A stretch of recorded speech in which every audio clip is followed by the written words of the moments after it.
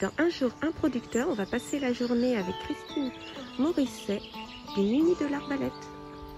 Bonjour Christine Comment ça va? Bah ça va, merci et vous? Ça va très bien. Alors qu'est-ce qu'on va faire aujourd'hui? Euh, Déjà bienvenue. Merci.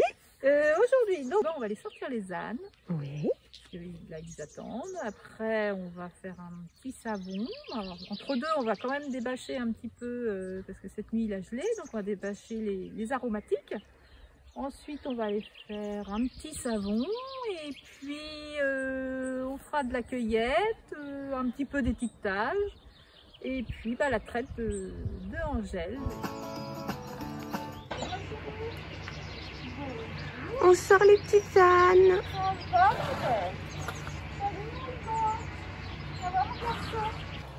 Ça c'est ma Angèle. Tu vas Allez ma Jessie. Sors Jessie.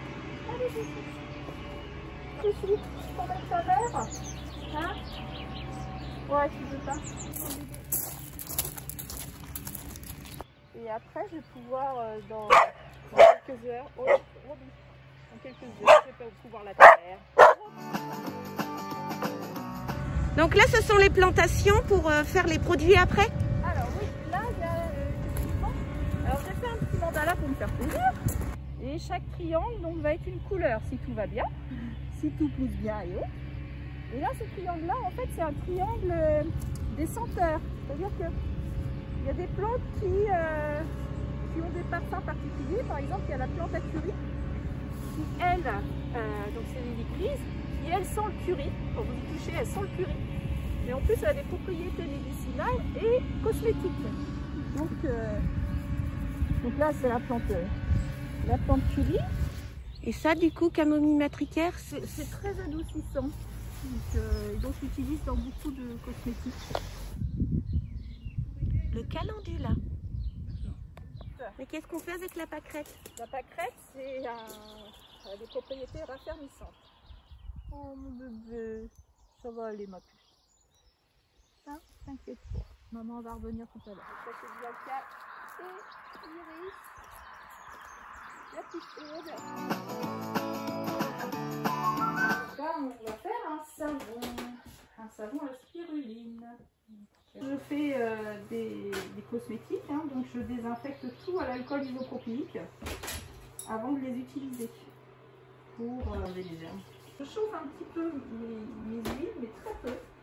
Euh, c'est de la saponification à froid, c'est juste pour avoir une même température, presque ambiante en fait. hein. Et le lait en fait, il, il est, euh, donc, euh, je, le, je le trais, je le congèle et je le mets vraiment à la fin. Le but est de garder le maximum des propriétés du lait. Alors là, Les huiles donc, que je verse dans mon cul de poule.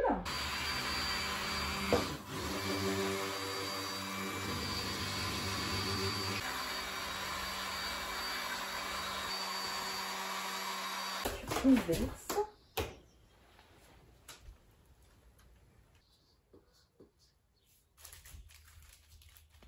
là, je vais faire euh, mon, mon fichier donc, de suivi de fabrication pour euh, avoir une traçabilité de ce que j'ai fait aujourd'hui.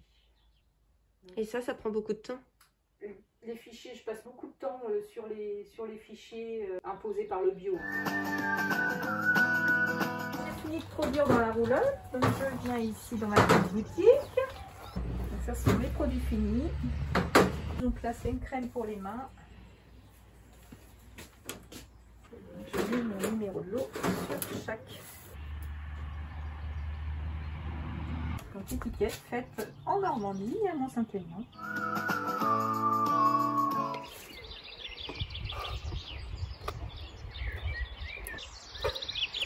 Ça produit combien de lait, euh, une laisse C'est entre 500 et 1 litre par jour, mais il faut plusieurs traites. D'accord. Je traite en, en général deux fois par jour.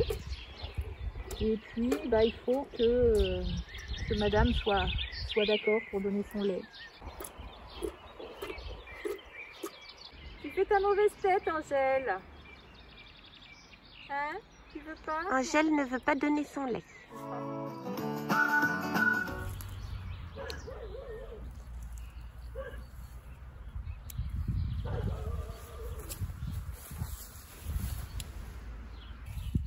Récolte d'ortie.